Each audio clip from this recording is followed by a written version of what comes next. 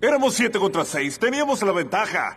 ¿Dónde estabas? Contaba con tu ayuda. Según recuerdo, dijiste que tú te encargarías de ella. Así que la práctica hace la perfección. Pensé que lo hacíamos para trabajar en equipo, no para que uno le dijera qué hacer a todos los demás.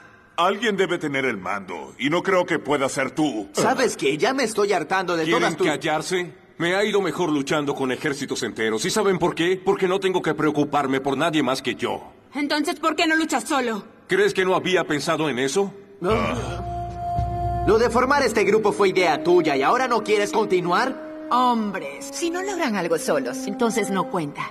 No son solo los hombres en Greida.